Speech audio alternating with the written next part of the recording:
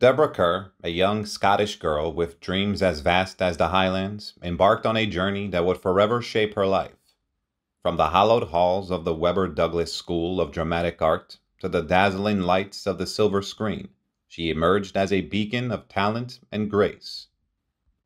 Born on the 30th of September 1921 in the vicinity of Glasgow, specifically Helensburgh, Deborah Kerr entered this world as Deborah Jane Kerr Trimmer. Tragedy struck when she was only 14 years old, as her father, a naval architect, passed away, leaving behind a younger brother named Edward, affectionately known as Teddy, who later pursued a career in journalism. When she turned five, Deborah's family journeyed across the borders, settling in England. It was there, in the delightful vicinity of Clifton near Bristol, that her educational voyage commenced at the prestigious Northumberland House School. Although an introverted child, her creative prowess shone through, capturing the attention of those around her. Her enchanting voice and graceful dance moves left a lasting impression. Recognizing her immense potential, her aunt, the renowned British radio performer Phyllis Smale, took Deborah under her wing and became her very first acting mentor. Deborah possessed an extraordinary talent that simply could not be contained. This gift earned her a coveted scholarship to the illustrious Sadler's Wells Theatre School in London, where she would continue her pursuit of ballet. At the tender age of 17, in the year 1938, she graced the stage for the very first time as a member of the Corps de Ballet in the mesmerizing production called Prometheus. However, Destiny had other plans for this exceptional young woman. Standing at an elegant height of five foot six, she was deemed too tall to be a prima ballerina. Unfazed by this twist of fate, Deborah redirected her boundless talents toward her other profound passion, the captivating world of theater. In the bustling city of London, Deborah embarked on her journey through the realm of theater, starting with modest roles in repertory theaters Fate smiled upon her when she graced the stage of the open air theater in Regent's Park, catching the discerning eye of producer Gabriel Pascal. Recognizing her immense talents, he swiftly enlisted her to portray Jenny Hill in the 1940 film adaptation of George Bernard Shaw's renowned play, Major Barbara. The film, along with Deborah's captivating performance, garnered resounding praise paving the way for her next endeavor under Pascal's guidance. In 1941, the cinematic masterpiece Love on the Dole emerged, once again showcasing Deborah's brilliance and earning her well deserved accolades. Rapidly, she ascended as one of the shining young stars of British cinema. Deborah's meteoric rise continued, marked by a series of noteworthy films crafted during the tumultuous years of World War II.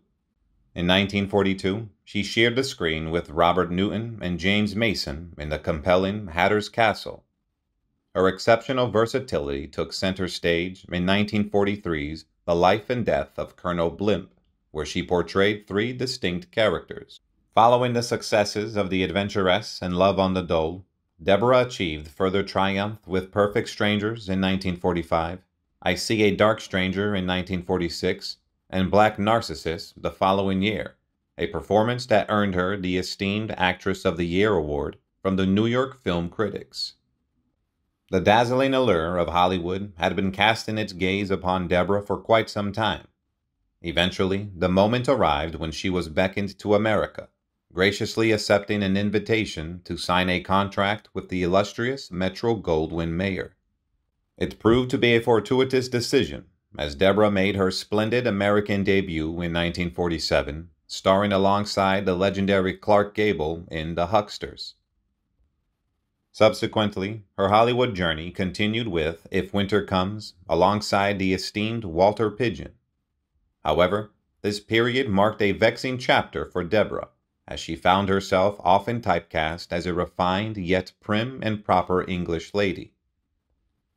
Similar roles followed in subsequent years, including Edward, My Son in 1949, King Solomon's Mines in 1950, Quo Vadis in 1951, and The Prisoner of Zenda in 1952. With her enchanting presence and captivating performances, Deborah quickly became a rising star in the British film industry. Her breakthrough role in Perfect Strangers propelled her into the spotlight, and she soon found herself entangled in a world of fame and adulation.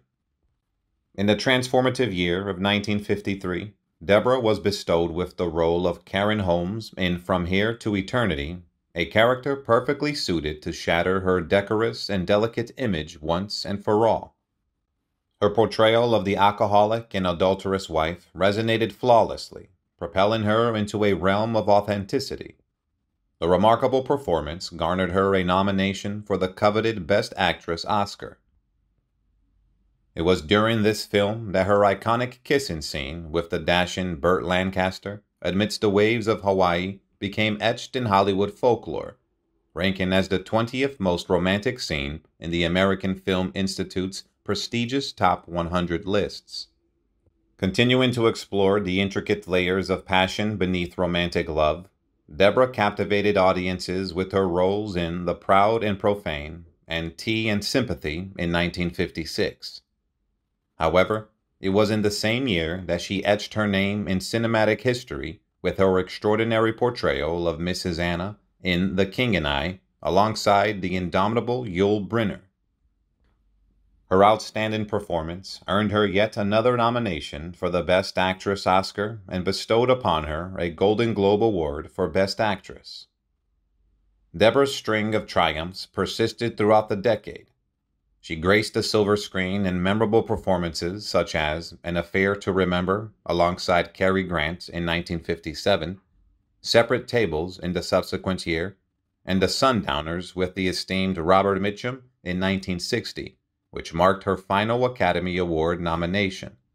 Additionally, she showcased her comedic prowess in starring roles in The Grass Was Greener in 1960 and Marriage on the Rocks in 1965. Embracing glamour with finesse, she made a stylish appearance in the comedic James Bond spoof Casino Royale in 1965. In 1969, Deborah graced the silver screen one final time in The Arrangement, a movie that met with disappointing reception.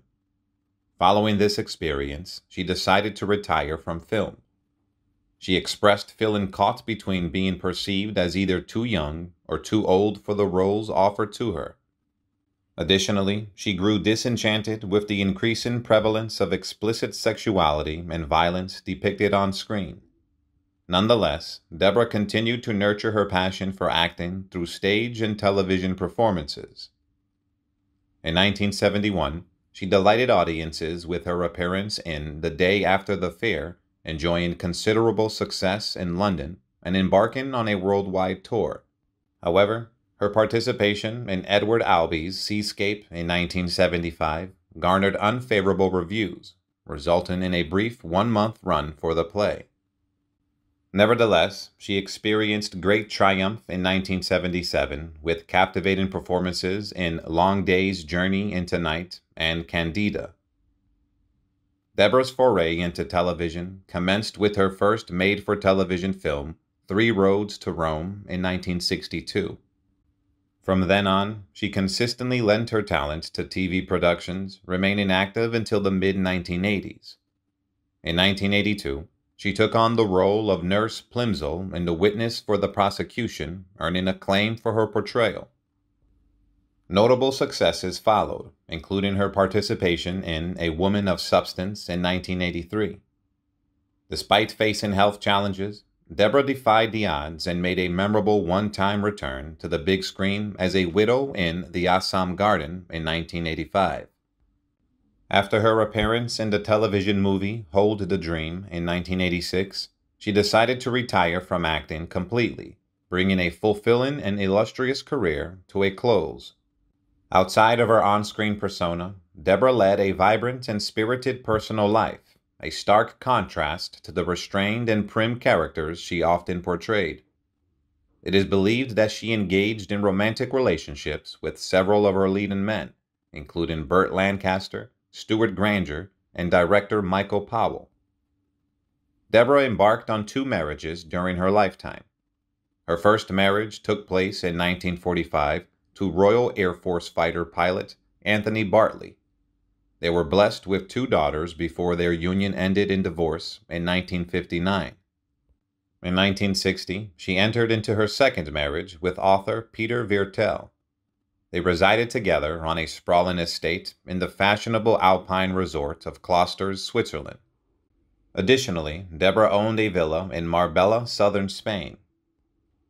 Sadly, in 2001, it was confirmed that Deborah was battling Parkinson's disease, which eventually confined her to a wheelchair. Tragically, on October 16, 2007, Deborah Kerr passed away in Suffolk, England, at the age of 86. Her extraordinary talent, indelible performances, and vibrant spirit continue to live on in the hearts of those who cherished her on and off the screen. Goodbye and rest in peace, legendary actress Deborah Kerr. Deborah Kerr.